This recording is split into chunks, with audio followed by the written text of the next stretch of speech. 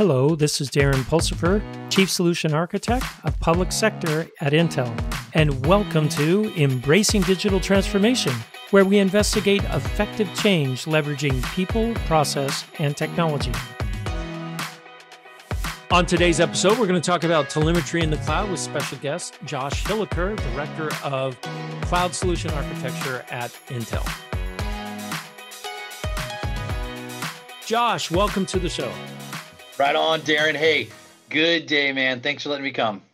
Hey, we we've we've been working together for it's been what two months since you took over this new position, right? Correct. Yes. And you're hiring like crazy, like crazy, man. That that is an understatement, man. The the the CSA role, that cloud solution architect role, is so hot in the industry right now, and I feel like Intel has woken up and said, "Oh my gosh, we need this, and we need to uh, really kind of pump our relevance in the cloud." And the best way to do that is CSAs. And man, it just uh and you've so- hired some you've hired some great guys. I I get to meet with you guys weekly, um, and I love it. I I think it's awesome. Uh, lots of energy, lots of knowledge in AWS, Azure, IBM Cloud, Oracle Cloud, um, GCP. You know, I, I almost forgot Google. Sorry, Google guys. Um, no, it's awesome that that we're just grabbing talent that's uh, it's providing a lot of value to our end customers. Oh, thank you. Yeah, I'm. Um, I feel like the team has this level of infectious passion, right? That when we're meeting like with that. customers and partners, that they feel it. Like we're not we're not we're there to be that agnostic partner, right? And talk about the cloud. Talk about well, how to do it, how to optimize in it, how to work with it, how to how to how do you make all those pieces work for you so you don't get that. It was great. I was talking to someone last night um, during an interview, funny enough, and they said, "I go, hey, what's the biggest challenge with customers in the cloud?" Right? And what they said is the first bill. And I'm like, yeah, that is true that is because like you don't realize like oh I had all this on and the cloud's so great, and then you're like, wow, that's a hundred thousand bucks I just lost in a month I spent on having replication of my egress charges. Wow. Okay. so, so this is this is where you you and your team really can help these guys manage that beforehand, right? I mean, that lift and shift mentality. I'm just going to move everything to the cloud in one big swoop can really cost you a lot of money. Oh, it can, and it, it's like the the when we meet with um, certain partners, whenever they're like, "Hey, the customer wants lift and shift," and you're like, "Well, well, why? Well, ease of use, and they don't want to do any. You know, they just want to like move it and be done with it." And it's like, well, they're going to double or they're going to 1.5x their cost just by doing that without thinking, like stopping for a moment, saying, "Okay, what if?" Right? What what what is it on today? What should it be on? Should I consolidate? Should I do a little bit of work? And so, yeah, we can absolutely help. And that's, um, you talked earlier about the breadth of the team. I love the breadth of the team, and it continues. I continue to hire and build that breadth. So whether it's coming from, you know, uh, the medical industry, right? Whether it's coming from the database area, it's like all these different pieces coming together um, in the team, and there's more um, more folks I'm interviewing like right now, like I talked to, uh, you know, I'm interviewing now that are bringing even additional skill set to the team. So it's just, it's phenomenal. Um, the breadth, the depth. Um, I would say that um, my aperture of awareness in cloud has continued to open up with the additional people we hire and that external in feeling. Something like we heard VJ talk about, where VJ's like, hey, external, you know, we're giving that external perspective inside Intel. Yeah, and it's helping and and and, I'm seeing it too, um, which is great. It's been fun uh, talking to you and your team on the weekly basis because I used to be kind of the only one out in the sales organization touting cloud and hybrid cloud and how to do it, and now there's a huge team behind um, behind us now to really make this move forward. So thanks for coming on board first off um, and uh, and building an incredible team. This is uh, uh, it's going to be a great asset for um, all of our customers in the end. I, I, that's what, that's my aspiration right there. and it's the the connecting, like you said, the um, we've got CSAs at Intel, right? And we're we're starting to explore, find them, connect us. I mean, we are a community, and what's great is even the external, and we talk about folks outside of Intel that are CSAs, we are one CSA virtual group. And that part excites me so much on, you know, reaching outside of the company and saying, hey, I'm working on this challenge. What have you guys done in this space? Or to learn how to do things. And that's why when you asked me to come in and talk about telemetry in the cloud today, I'm like, oh my, because one, maybe to answer the question earlier is telemetry is what I've been doing the last, I feel like the last decade of my career from and really awareness the last two decades of my you know awareness of it but really the last decade i'm starting to okay it's time to lean in. And and really the last three years it's been both feet in the deep end of what is telemetry how does it work and what does it mean? So yeah let's dive into that now that we've you know patted ourselves on the back for doing such a great job at getting cloud solution architects. Um, i'm actually really stoked about it as you know right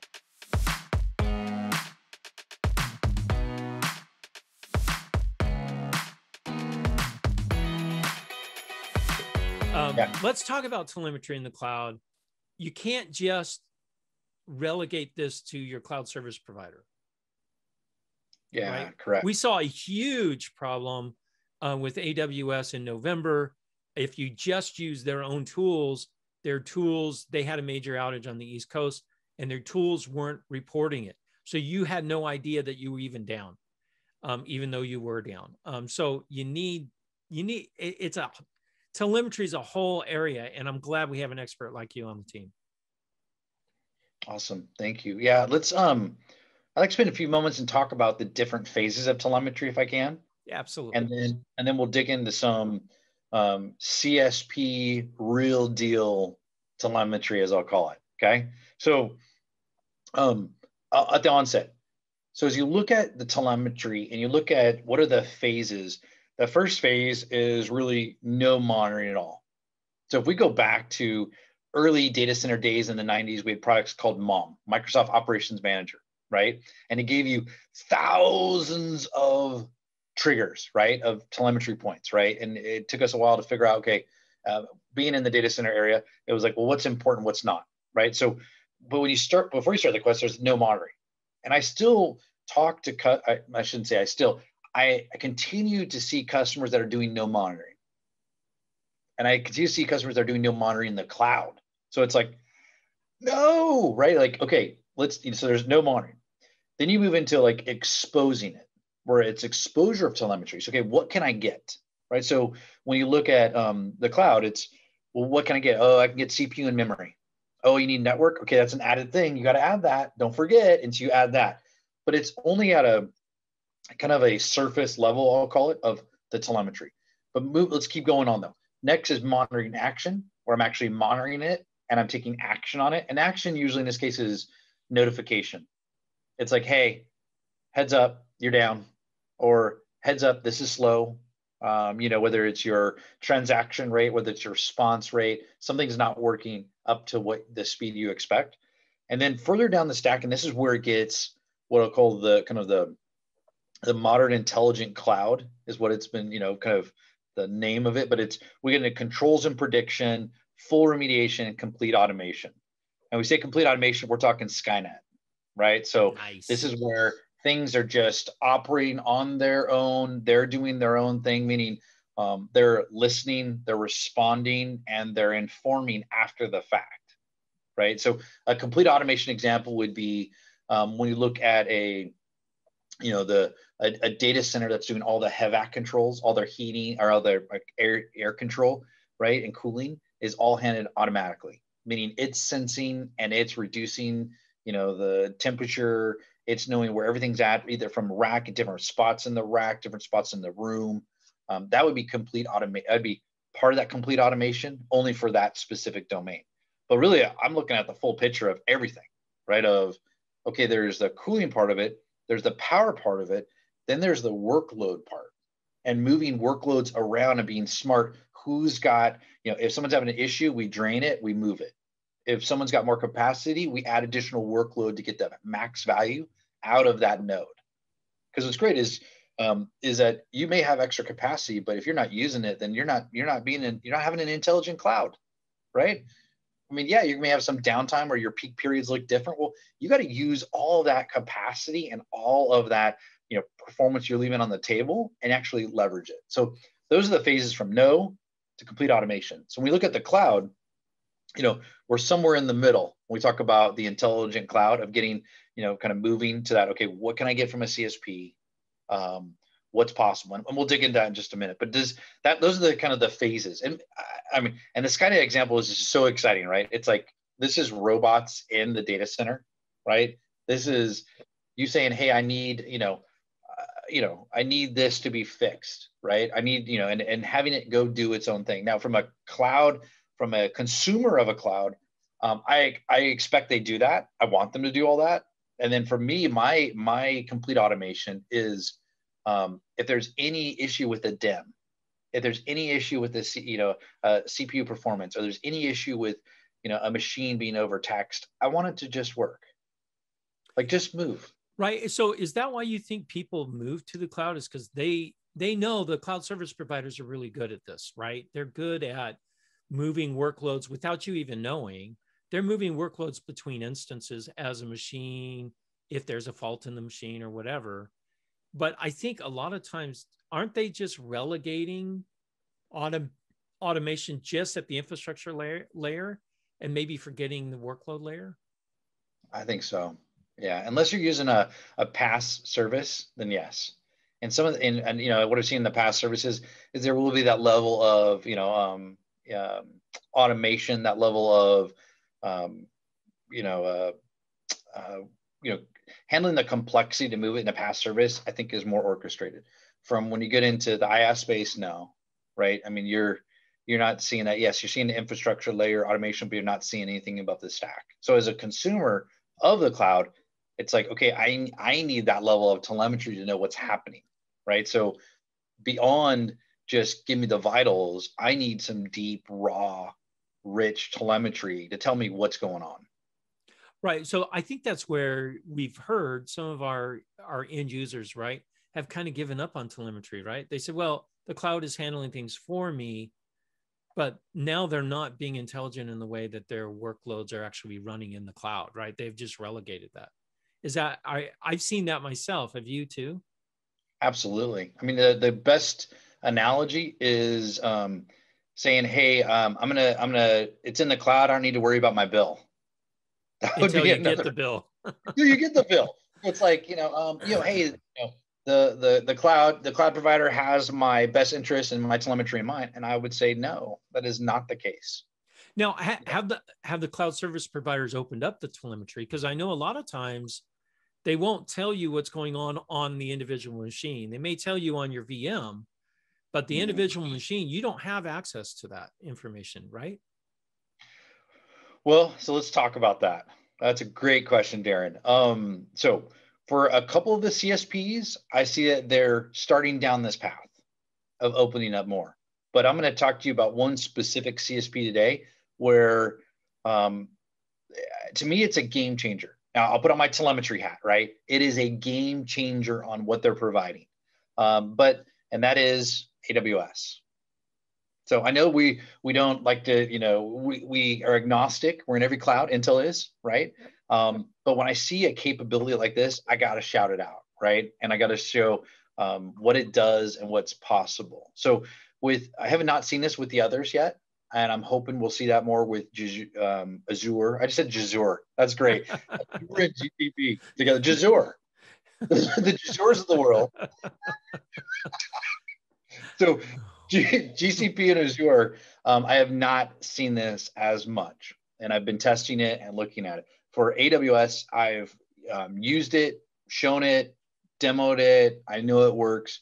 Um, and I'd love to dig in a little bit more with you and, and tell you a little bit more about that. Now, one thing, um, in all transparency, as you know, full openness, um, I was talking to an, an IBM Cloud gentleman yesterday, and he said that hey they're doing a lot on bare metal and that he encouraged me to go check ibm cloud for what they can do for their telemetry so uh, challenge accepted and i'll be working on that hopefully this week or next is looking through IBM Cloud Bare Metal to see what they can do from a telemetry standpoint. But for today, I'm going to talk to you about AWS. Okay.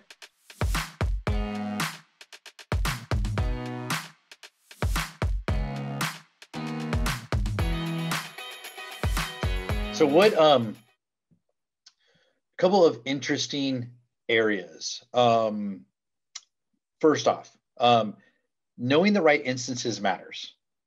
Right? Picking the right instances. So I mean, what's funny is this is I swear this is not a CSA commercial, but at Intel we're here to help you with your instance selection, right, Darren? well, yeah, and there was a great podcast done by someone on your team, right? Um, Stephen Holt, yeah. who talked about not all cores are created equal. Great. If you haven't heard that podcast, go and take a look at that podcast. Um, he did a great job explaining different cores are used for different things, and you got to understand what they are to get the best performance and price um, at the same time. So you're saying it does matter too. So two voices, that must be true. Yeah, no, it's, and that was a great um, podcast with you and Mr. Holt. Um, Stephen is phenomenal and so excited. Um, if you're, if any customers have an opportunity to listen into Stephen, I highly recommend it. Um, amazing. put it amazing. put it that way. All right. So um, we talk about AWS, knowing the instances matters. Okay. But before I even go into like what and give you the specifics on the instance, let's just talk about what you can collect. Okay. Okay. So um, we've got um, in our product design, we have things called PMUs, performance monitoring units. Okay. And these are sub-level counters, and they're providing um, you know information about the transactions, about delays, about latency, um, about bottlenecks. So we're leveraging the PMUs. And in the PMU camp, there's three different camps. There's core, off core, and uncore. Okay. What we can do on bare metal instances on AWS is I can get core and off core. I cannot get uncore. Uncore is where you see things like NUMA. Okay. And NUMA is giving you an idea of where where are you reading memory from? Are you having delays? Right? Are you reading from the wrong uh, NUMA zone? What have you? So um, it won't give you that, but I can get off core and core. And so first first glance, you're like, well, okay, that's great. What can I get in that? Well, you can get CPI cycles per instruction. CPI matters because you start to look at like the efficiency of what's happening with your workload. So think of there's there's kind of a, a sense of like a, uh, you know what's my transaction time? Okay, it's this. Okay, great. Well, why? Well, you got to dig into CPI a little bit and figure out okay, well, what what is my cycles per instruction? How many you know how many cycles is it taking? So what you try to find is a, a, a sweet spot of around one cycle per instruction. If you're above two, there's something to look at. So I encourage folks like, hey, that's something that if you're getting, if you want to really do bottleneck analysis, you really want to eke out performance, you really want to get super, uh, you know, uh, I don't want to say super geeky, but it, meant to me, it's exciting because you're like, okay, what's really performing? What's happening right at that level? So that's CPI. You get utilization. Awesome. CPU utilization, right? Great. We can get that with you know the CSP uh, telemetry package as well, but we're giving you a kind of a deeper dive utilization. You can get frequency, which is um, it's very helpful to know if you're being throttled, to know if you're getting what you're asking for out of it. Meaning, if I'm getting a 3.1 gigahertz proc, am I truly seeing that? Is it set up correctly? Um, you know, am I achieving it? Um, in in the data center world, I find this a lot where um, out of the box misconfiguration on this, it caused issues where it never hits max frequency. And it's called the CPU frequency governor, the P state driver. They aren't set up. So in the cloud space, you you know they are they I've seen a lot that they're thinking with the right intent of hey we're going to give you max performance right, but it's good to know like if I got a 3.1 proc, am I really seeing 3.1 frequency out of it? And how that would translate to your workload is you're going to have a slower speed of that workload. Okay. And the last big piece um, is super. Um, I tell you, I went down this this rabbit hole for a couple months. Um, I started growing out my beard, started growing out my hair. Um, seriously, if you see any of the pictures back then, it was it was great. But I started digging into TMAM, top level microarchitecture method, and really this is the um, bottleneck analysis space. And this is where you can go start to look into the tree and say, okay, where am I seeing? And how you use this is we talk about a bottleneck um, where you're not you're not seeing the amount of transaction that you want. You're not seeing the speed. You're not seeing the um, you, you know you're seeing that okay. Well, it's just I feel like we should be able to get more out of this, right? Um, or you're seeing that there's a slowness and it's a gray area where you're like I don't know where that's happening, which is the I'd say the worst technical issue you have is a it's going slow. And it's like why? Yeah. what, what what does that mean you're going slow? Like can you explain it? Can you point to it? No. You're like well it's just slow. It just doesn't feel right. It's like my kids last night um, um, both of them right complained that the internet was slow. And it's like well what's slow? It, it just doesn't feel right it doesn't feel right god you're like no i need to know like are you having timeouts on YouTube? Right? Are you having issues with TikTok? Are you have like what is you know is, is your Apple TV slowing down? Like what is it? Where is it? The TMAM helps you kind of start to dig in deeper. So you can look at is it back-end bound? Is it front-end bound? Was it bad speculation? Did it retire correctly? And what's great is you can actually get the TMAM data from the PMUs on AWS instances and you can do that analysis work to figure out where in the code am I having issues. Now, now these telemetry that you get that you're getting from AWS, these are on non-shared instances, correct? These are dedicated instances. Yeah. So let, uh, let me tell you what they are. Okay. Good question. Here we go. This is the this is this I call this the AWS roll call for the good telemetry ones, and this is subject to change depending on where you're listening to this. Um, C5, NX large, 12X large, 18X large, 24X large, and dot metal. Okay. okay. M5, 12X, 24X large, and metal. R5, 8 and 12, and metal. So these CM and R instances give you all the data that I'm just talking about right now. Okay, great. So you can't go, can't go freebie. Freebie doesn't work. no, no, no, no. Yeah, that that makes sense. So if I'm comparing, th- this would be really good to compare how's my workload running in my own data center compared to AWS on these instances? And running these metrics to find out what which platform is best to land these on in in AWS instances, in my data center, and vice versa, right? So this gives me um, yet another tool to help optimize my workloads, right? Oh, you nailed it! You nailed it! Nailed it! Yes, absolutely um, knowing where to land, using metrics, real telemetry to tell you which one is right. Absolutely. Like I almost there's two parts to this. I know we're not going to talk probably about that much today about benchmarking, but when you when you layer benchmarking with telemetry, you've got your epic solution right there. Well, that brings up a good point. I'm glad you brought up benchmarking because it is important. It sounds to me like I can't. It, it's not wise to just take my workload and just drop it in the cloud on the cheapest instance that I can find. Or, hey, I've got it running on on a gold um, SKU with 24 cores and 128 gig of RAM. Uh, do I just buy that in AWS? And the answer is no. no. Yeah, no. and and I think a lot of people think that's all I should do. And what we're learning is that can lead to very expensive monthly bills and maybe lower performance.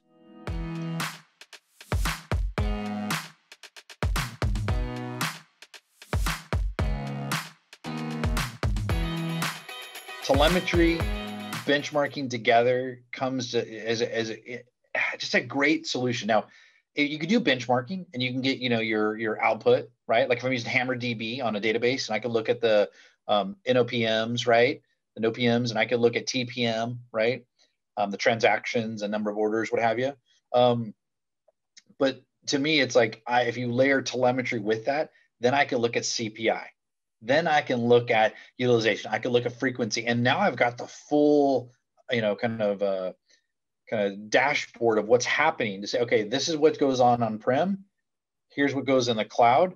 Okay, yep. You know what? I'm going to actually ratchet it down to a different instance and it could be some cases what we've seen is that um, you may use a legacy hardware platform on site, on prem, and you can go to a newer platform at a lower price because we're seeing a lot of those newer instances are coming at, at a you know a cheaper instance costs, right? Per per hour, per minute. And so you look and go, well, you know, I could do that based on that meta information, right? The telemetry based on the benchmark. So th- this is really this is actually really good news for the IT professional because a lot of them are kind of scared. Hey, I move to the cloud, I lose my job. So they're dragging their feet, right? Mm-hmm. On saying, hey, if I can't if I can't hug onto a server, then you know that keeps me here working.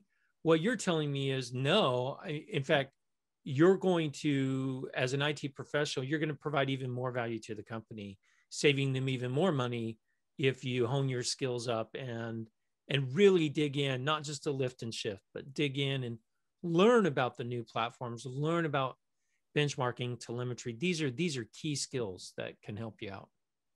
Yeah, I mean that's that's um, you've you know years back I talked about the modern autonomous data center right? This is the on-prem. This is getting on-prem to be, you know, wicked fast, wicked cool. It's got new kernels. It's got all this great stuff.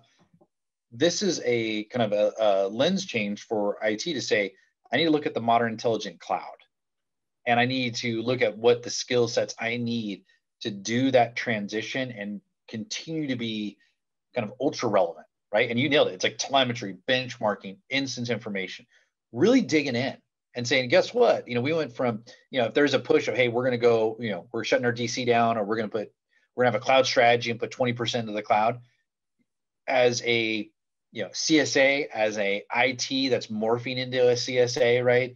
You've got your headroom just exploded from a career standpoint, right? Because it's yeah. now it, your value just went up on, okay, well, you know what? I'm going to, you know, I'm going to become a benchmarking expert on this. And it's like, whoa, can we do that? Yeah, let me show you how we're going to reduce the cost of what we, if instead of lift and shift, we're going to do some consolidation. We're going to do this, check it out. Right now, if I didn't talk about a little bit for a moment, yes, going to the cloud is about using cloud native features, right? So you got, you know, at, at, you got to look at Kubernetes.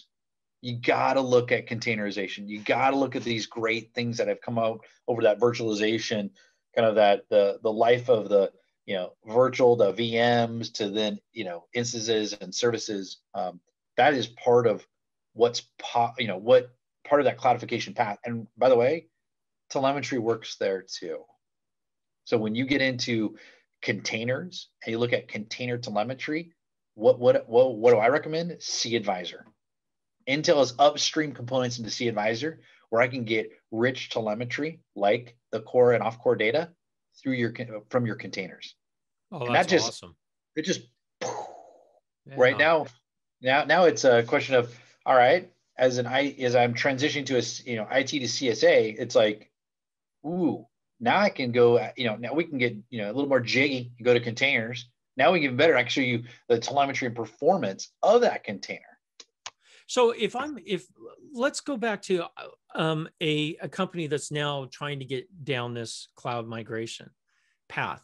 Are you saying I should just move straight to containers? Or oh, or do I hard. need to take a step because I, I, it, it's overwhelming, frankly, to a lot. I got to learn all this new stuff to start using the cloud. The cloud guys are telling me, "Oh no, just move all your stuff. You know, just move it in." But you're telling me it may cost too much. I mean, where do yeah. I where do I start, Josh? I I can't do yeah. everything, right? That yeah. would be that'd be way too hard.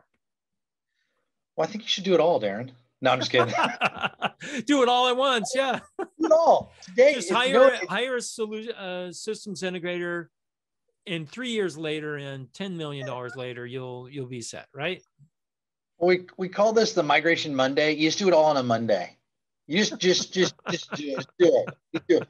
No, um, no, it's a, it's a good question. Um, it becomes daunting when you look at what can you do, right? What's possible, and all the trends and all the tech that's available. Um, what I would encourage folks to do is, you know, start small. Look at the right, you know, look at the right applications based on risk, right? Based on like what they do. Get get kind of um, cut your teeth a little bit on you know, because you don't want to move your. Yes, you can move your whole DC if you want to do lift and shift, and that's one method, right? But if you want to do a application modernization, if you want to start to morph to the cloud, you would, you know, to me, you would look at all of your apps, right? Kind of catalog your apps, look at your tiering of applications, and then start to say, okay, let's let's you know, kind of let's start cutting these out one at a time or a few at a time of like, and start to shift them over. So that's because that's um, you got to make it sizable chunks, right? Anybody that's done any kind of deployment, you got to look, break it down to the smallest piece, figure out how many of like function or like app, and start to migrate those over. So when I say you got to look at Kubernetes, you got to look at containerization, right? Um, I, it doesn't need to be overnight, but it should be a thought that is maybe you're landing new applications as you're looking at a new services. You're thinking with that kind of that page in mind. It should of, be in your roadmap eh, of yeah, the future, right? Yeah. Got it. So it's yeah. kind of, and that way, when you're looking at new applications to land, that's one of those um, key decision criteria, right? What is the architecture behind it? Oh, you guys have set this up with a SaaS service. Okay. Or you, yeah, you can use containers for clustering and for scale and moving workload around. Oh, okay, great. You know, it gives you that additional question to ask. So you're a more informed technical architect.